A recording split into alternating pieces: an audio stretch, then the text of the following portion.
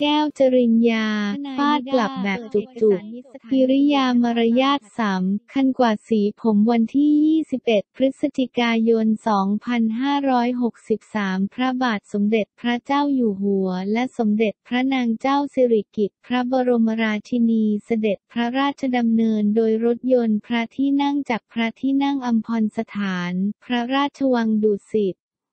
ไปทรงประกอบพิธีวางศิลาฤกษ์และทรงเปิดอาคารที่ทำการศาลแขวงพระนครศรีอยุธยา ณ อาคารที่ทำการศาลแขวงพระนครศรีอยุธยา อำเภอพระนครศรีอยุธยา จังหวัดพระนครศรีอยุธยา เมื่อเสด็จถึงอาคารที่ทำการศาลแขวงพระนครศรีอยุธยา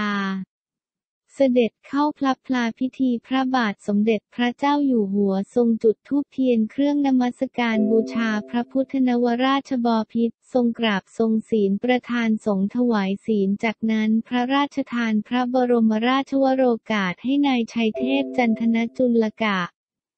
ผู้พิพากษาหัวหน้าศาลแขวงพระนครศรีอยุธยา เข้าเฝ้าทูลละอองธุลีพระบาททูลเกล้าทูลกระหม่อมถวายหนังสือที่ระลึกแด่พระบาทสมเด็จพระเจ้าอยู่หัวนางสาวสุรินีสมณะผู้พิพากษาศาลแขวงพระนครศรีอยุธยา เข้าเฝ้าทูลละอองธุลีพระบาททูลเกล้าทูลกระหม่อม ถวายหนังสือที่ระลึกแด่สมเด็จพระนางเจ้าเจ้าพระบรมราชินี นางเมธินีชโลธรประธานศาลฎีกากราบบังคมทูลรายงานพร้อมทั้งขอพระราชทานกราบบังคมทูลเชิญเสด็จทรงประกอบพิธีวางศิลาฤกษ์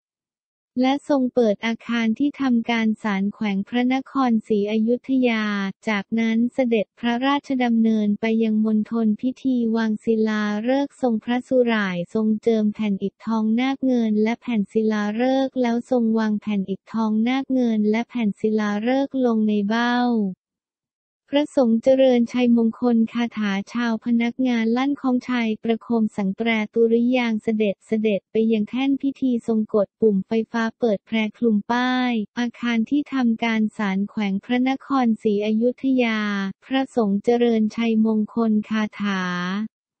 ชาวพนักงานลั่นคล้องชัยประโคมสังแตรดุริยางเสร็จแล้วเสด็จเข้าพลับพลาพิธีทรงประเคนจตุปัจจัยทายธรรมถวายพระสงฆ์ทรงหลังทักษิโนทุกพระสงฆ์ถวายอนุโมทนาถวายอดิเรกต่อจากนั้นนายชัยเทพจันทนจุลกะ ผู้พิพากษาหัวหน้าศาลแขวงพระนครศรีอยุธยา เข้าเฝ้าทูลละอองธุลีพระบาททูลเกล้าเกล้าถวายแผ่นศิลาเพื่อทรงลงพระปรมาภิไธยและทรงลงพระนามาภิไธยในแผ่นศิลาเสด็จแล้วเสด็จเสด็จไปทรงกราบที่หน้าเครื่องนมัสการ ทรงลาพระสงฆ์ แล้วเสด็จออกจากพระพลาพิธีไปยังห้องรับรองทรงลงพระปรมาภิไธยและทรงลงพระนามาภิไธยในสมุดเยี่ยมและเสด็จไปฉายพระบรมฉายาลักษณ์ฉายพระบรมฉายลักษณ์ร่วมกับสมเด็จพระนางเจ้า พระบรมราชินี และข้าราชการตุลาการชั้นผู้ใหญ่ศาลยุติธรรม ข้าราชการตุลาการศาลแขวงพระนครศรีอยุธยา ก่อนเสด็จพระราชดำเนินออกจากอาคารที่ทำการศาลแขวงพระนครศรีอยุธยา แล้วเสด็จพระราชดำเนินไปทรงพระดำเนินเยี่ยมราษฎรที่มาเฝ้ารับเสด็จบริเวณหน้าศาลแขวงแขวงโดยพระบาทสมเด็จพระเจ้าอยู่หัว และสมเด็จพระนางเจ้าสิริกิติ์พระบรมราชินีทรงมีพระราชปฏิสันถานกับราษฎรอย่างใกล้ชิด ทรงแย้มพระสวนเมื่อทรงพระดำเนินผ่านราษฎร ซึ่งพร้อมใจใส่เสื้อที่เหลือมาเฝ้ารับเสด็จเป็นจำนวนมาก ต่างพร้อมใจเปล่งเสียงทรงพระเจริญ ดังไปทั่วบริเวณด้วยความปรับปลื้มพร้อมโบกธงชาติธงพระปรมาภิไธยวปร และธงพระนามาภิไธยสอทอ และเชิญพระบรมฉายาลักษณ์พระบาทสมเด็จพระเจ้าอยู่หัว ที่ฉายกับสมเด็จพระนางเจ้าสิริกิติ์พระบรมราชินีชูขึ้นเหนือหัวด้วยความจงรักภักดีถือเป็นมงคลยิ่งที่ได้รับเสด็จอย่างใกล้ชิดในโอกาสนี้ พระบาทสมเด็จพระเจ้าอยู่หัว และสมเด็จพระนางเจ้าสิริกิติ์พระบรมราชินี ทรงแย้มพระสวนมีพระราชปฏิสันถานกับราษฎรตลอดเส้นทางทรงพระดำเนิน นอกจากนี้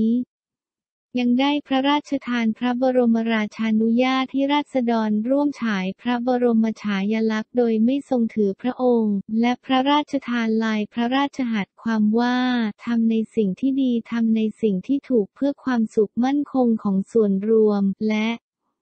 น้ำใจและจิตใจของชาวไทยเป็นเลิศ เราต้องรักษาความดีความเมตตาความรักและความซื่อตรงต่อชาติบ้านเมือง และพี่น้องร่วมชาติเห็นใจกันทำในสิ่งที่ดีมีน้ำใจต่อกัน ก่อนประทับรถยนต์พระที่นั่ง เสด็จพระราชดำเนินกลับพระที่นั่งอัมพรสถาน พระราชวังดุสิตทั้งนี้วังช้างอายุทยาและแพเนียดได้นำช้างจำนวนสิบเชือกแต่งชุดขชาพรสีเหลืองอันเป็นสีประจำวันพระบรมราชสมภพพระบาทสมเด็จพระเจ้าอยู่หัว มาร่วมเฝ้ารับเสด็จในครั้งนี้ด้วยซึ่งช้างทั้งสิบเชือกนี้ผ่านการฝึกเพื่อถวายงานรับใช้ และเคยร่วมถวายพระพรเนื่องในพระราชพิธีบรมราชาพิเศษ พุทธศักราช 2562 มาแล้วด้วย